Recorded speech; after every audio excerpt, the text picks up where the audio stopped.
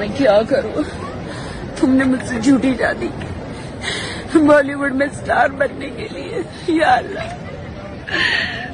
या अल्लाह, मेरे साथ न्याय हो।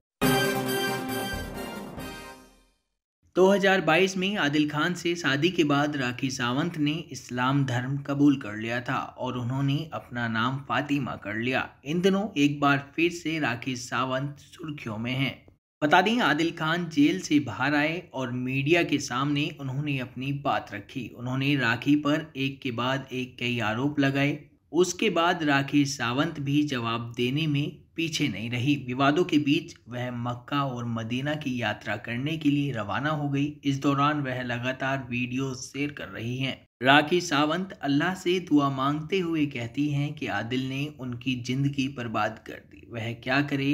यह उन्हें समझ नहीं आ रहा। क्या कुछ बोल रही हैं? जरा वो वीडियो देख लीजिए। मैं क्या करूँ? तुमने मुझसे झूठी की। बॉलीवुड में स्टार बनने के लिए। या अल्लाह।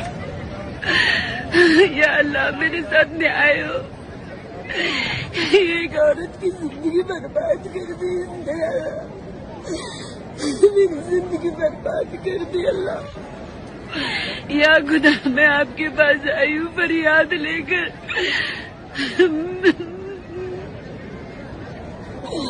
मैं फरियाद लेकर आई हूँ आपके पास, खुदा। मेरे साथ न्याय हो, मेरे साथ क्या हो गया, खुदा?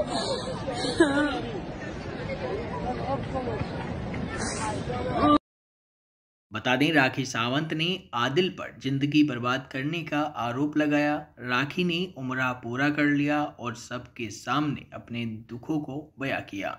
राखी सावंत मदीना में खड़ी हैं और वीडियो बनाते हुए ज़ोर ज़ोर से रोते हुए दिखती हैं। उनके पास एक महिला भी आती है जो उन्हें समझाती है। वीडियो को राखी सावंत ने अपने इंस्टाग्राम पर भी शेयर किया है। वह रोते हुए कहती है, मैं क्या करूँ?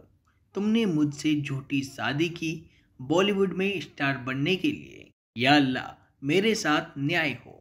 एक औरत की ज़िंदगी बर्बाद कर दी इसने, मेरी ज़िंदगी बर्बाद कर दी इसने, अल्लाह या खुदा।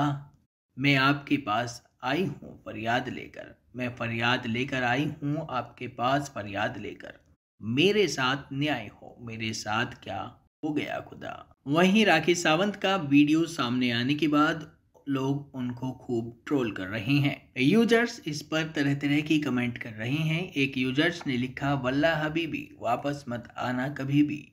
एक यूज़र्स लिखते हैं, या अल्लाह, इसको उधर ही रखो। और एक अन्य यूज़र्स ने तो कहा कि, नोटंकी, आँखों में आँसू तो नहीं दिख रहे हैं। ऐसे ही तमाम जानकारी के लिए बने रहिए इन खबर के साथ।